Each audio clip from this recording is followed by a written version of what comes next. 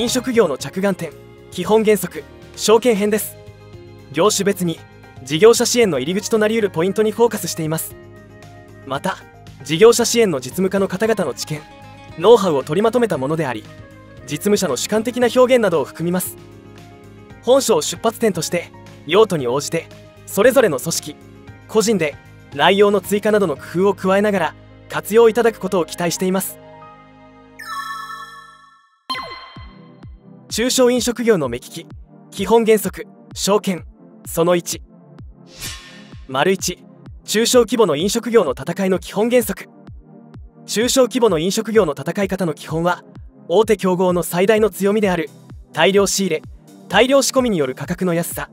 そしてお客様から見て立地の良さからくる近さに対して味店舗作り専門性接客サービスといった要素を一点集中させたり組み合わせたりすることでどれだけ個性を際立たせて大手に対抗していくのかにかかっています。そこで大手全国チェーンというものを冷静に捉えることが重要になります。昨今の中小飲食業は全体として大手や全国チェーンといった競合と比較してどのように選ばれていくかを考えることが重要だと言えます。飲食業は特に私生活と切っても切り離せない生活行動と一体的であると言えます。もちろん味覚は人それぞれであり日常生活における食事の選択。人生の節目におけるイベントとしての贅沢。余暇に友人と過ごす娯楽性。食べ歩きという趣味性など利用のシーンも様々なため個別具体的な絶対的評価は容易でありませんが身近な私生活に立ち返ることでその事業性を体感しやすい業種とも言えます。一方で大手飲食チェーンやフランチャイズ展開をしている全国規模の飲食業はほとんどの飲食分野においても中小飲食業の競合となり得る存在です。一昔前の大手飲食チェーンでは価格は安く味はまずまずが定番でしたが出店コストやオペレーションの平準化などコスト管理も徹底するとともに高立地な土地に出店し味についても決して侮れない技術を確立した手強い競合に変化しています。そのため中小飲食業を目利きする場合には個々の事業者が持つこだわりにどの程度の力があるかを冷静に理解把握する必要があると言えます。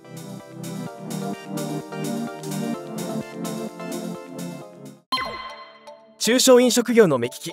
基本原則証券その2丸2証券の感覚。中小飲食業の大まかな証券イメージについて説明をします。一般論として証券は大きく3つに分けられます。まず一次証券はお店から半径 350m から 500m 程度のことです。小規模で競争力も平均的なお店であればほぼ一次証券内からしか顧客を獲得することができません。距離も自転車で23分程度。徒歩で15分以内くらいのイメージです。次にお店から半径34キロ圏のことを二次証券と言います。自転車で15分程度。歩くと1時間前後の距離ですから近所の身近なお店のイメージとは少し異なります。地元や友人の間ではちょっとした評判店で週末やお休みの時などに味わいたい。と思わせるくらい料理やお店の雰囲気があれば二次証券内からも顧客確保は可能です。最後にお店から半径15キロ以内の三次証券ですが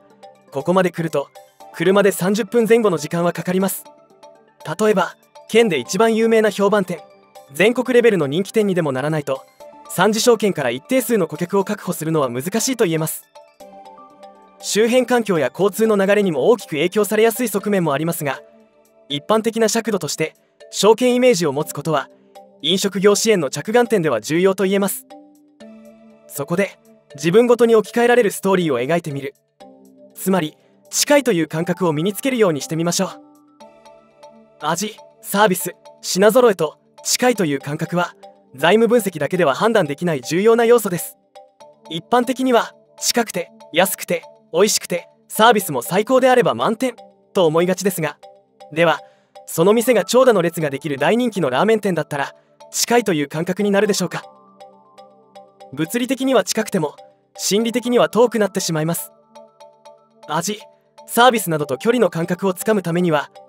例えば故郷から久々に親友が遊びに来たというストーリーを頭の中で描き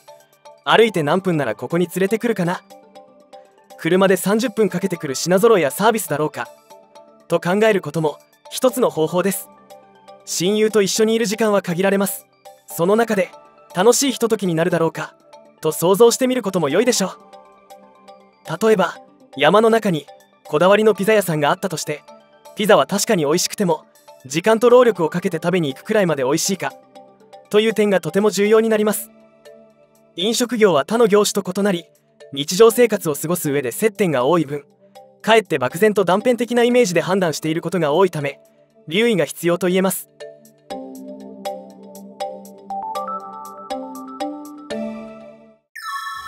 これで飲食業の着眼点基本原則証券編を終わります。